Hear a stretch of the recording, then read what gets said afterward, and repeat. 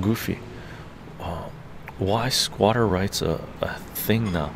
It's it's isn't that considered trespassing and is illegal? But yeah, we saw that uh, thing in New York where if you don't, if no one lives in a house, it's crazy. No one lives in a house for a month in in New York and in in Europe as well. Europe this exists as well. I know people that were squatting in Spain.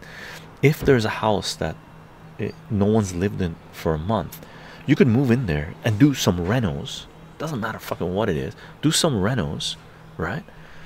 And now you own the house basically. Squatters' rights, right? You can kick out the owner of the house if they come to the house. So they fuck off. I did some renos. This was empty.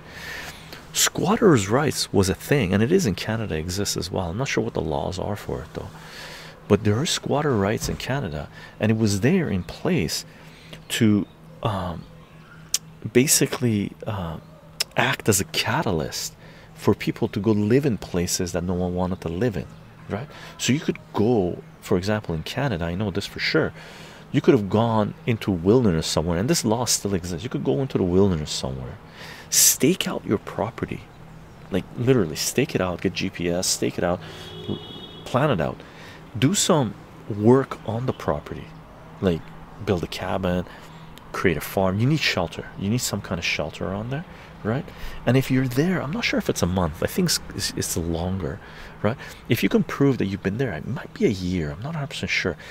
If you can prove you, you're there for, let's say, a certain amount of time without anyone coming and kicking you out, then you can claim rights to that property.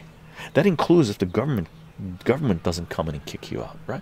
You could include, uh, you could have rights to that property for as long as you live in that property because you're making use of that land, right? So it's an ancient law to get people to make use of the land and have economic growth and expansion, imperialism, and all that shit. Well, there's a lot of laws on the books that are pure fucking bullshit, right?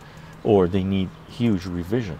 As I've said before, if I was if I was a politician and I got to be prime minister, president, and I had, you know, a crew that was working with me, the first thing you would do, right? Any government coming in in the Western world, the first thing they should do is bring all the laws that are on the books, which is going to be like pages upon pages, books upon tens of thousands of pages and start tearing them up take off all these laws take off all these laws as far as i'm concerned 90 95 percent of the laws in the western world need to be eliminated right?